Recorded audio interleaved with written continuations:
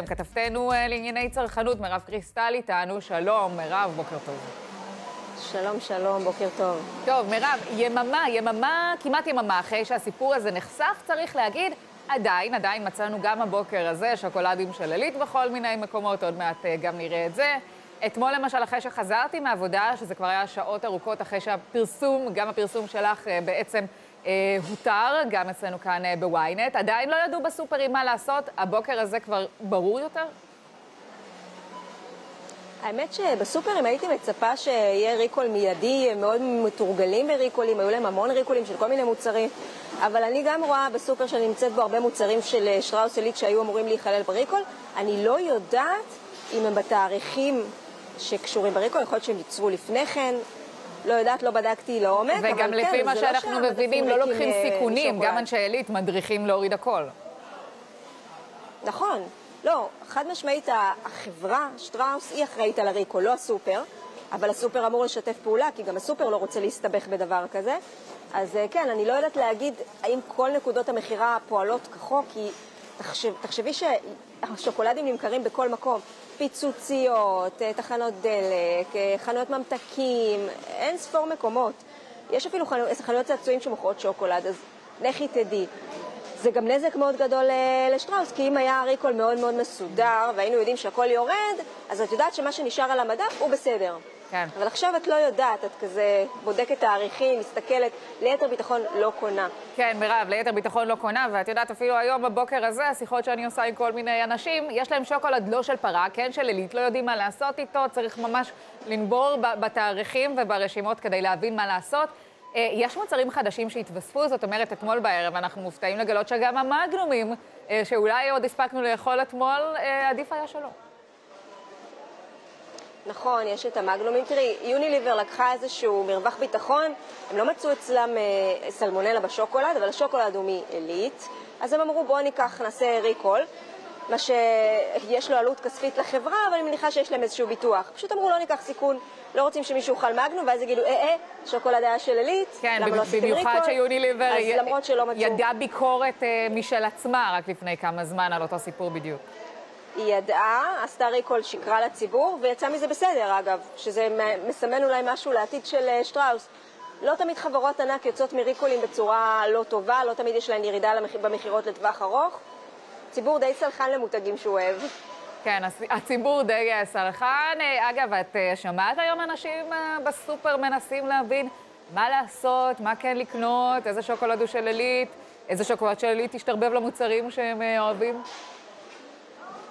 האמת שאין כל כך הרבה אנשים בסופר היום, ונראה לי שרובם ממש מתרחקים מהמדפים של השוקולד. אני לא יודעת אם זה מקרה. לא ראיתי אף בן אדם במדף של השוקולד, אה, אז לא יודעת, אבל אני יודעת, כמו שאת אמרת, מאנשים שאני מכירה שואלים אותי לזרוק, לא לזרוק, לשמור, לא מצליחים להשיג את שירות הלקוחות, כי הרבה אנשים מתקשרים כנראה, מה לעשות? כן. אני אומרת, לא לזרוק שום דבר, תשמרו, תתקשרו, תקבלו פיצוי על זה, ואז תזרקו. כמובן שלזרוק, לא לאכול, לא לאכול מה שיש לך בבית שהוא. בתאריכים האלה. גם לא קובייה קטנה. מירב, צריך להגיד, אה, בעלי שטראוס אתמול בבוקר לא כל כך הגיבו, לא כל כך דיברו. אה, בערב עוד שמענו איזשהו קול חצי מתנצל, היום בבוקר כבר קול שממש אה, מתנצל, אנחנו נבדוק את עצמנו, אנחנו נעשה הכל בשביל הלקוחות, יהיה מנגנון פיצוי אולי אחר, אז יכול להיות שיהיה אפילו פיצוי שהוא לא בדמות שוברים למוצרים אחרים. יכול להיות. יכול להיות שהם יגדילו את הפיצוי, יש להם כיסים עמוקים, חברה... בואי, לא, לא צריך לדאוג להם. לא. חברת המזון מספר 2 בגודלה בישראל, חברת מזון עולמית בנוסף, והיא שולטת במדפי הש- השוקולד. זאת אומרת, יש לה נתח שוק של מעל ל-40 אחוז, 50 אחוז בחלק מהמוצרים. לא צריך כן. לדאוג לה, היא יכולה לפצות את הצרכנים בכל uh, צורה שהיא. מה שכן. באמת נשאלת השאלה, כמו שאמרת בפתיח, האם הם הודיעו מאוחר מדי? לטעמי, הם היו יכולים להגיד קודם לכן, עוד שלא היו תוצאות חד משמעיות, יכלו להגיד, יש חשש לסלמונלה.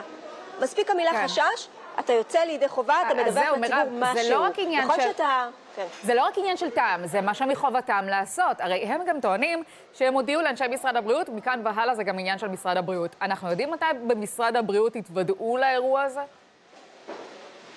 תראי, מהיכרותי עם אירועים כאלה, משרד הבריאות לא מעורב כמעט בכלל, ואני אומרת את זה כביקורת.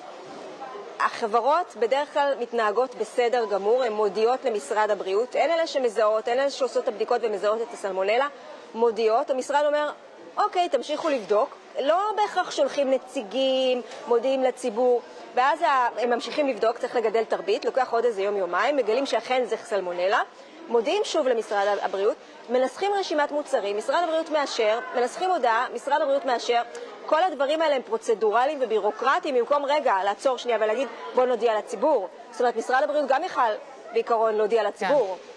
ואף. אחד מהגורמים שם לא עשה את זה. אז שטראוס הלכה לפי הספר, אני חושבת שהם יכלו קצת לצאת מהקופסה ולהודיע לפני, ומשרד הבריאות לא, הוא היה מעורב בתהליך ולא אמר לציבור. אז יש פה כן. שני גורמים, אחד שעשה כזה הלך מרובע, והשני שלדעתי לא מספיק עושה את תפקידו בריקולים האלה. הוא סומך את ידו על החברות יותר מדי. כן, טוב, ואולי נראה בהמשך גם קרב האשמות שם, אבל עוד אה, מוקדם אה, לדעת. מירב, הזכרת שזאת חברה עולמית.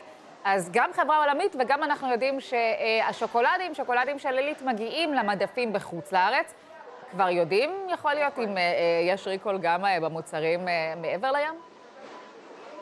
וואו, תראי, הם אמורים לעשות ריקול, אבל מאוד קשה. ברגע שאתה שולח וזה מגיע לאיזה חנות ממתקים בניו יורק, לא יודעת עד כמה שטראוס, את יודעת, ידע בכל, אבל אם הם מספקים באופן קבוע לחנויות מסוימות בחו"ל, ברור שכן. הם גם אמרו. הם אמרו שהם פועלים גם בחו"ל. אה, הנה, סופר.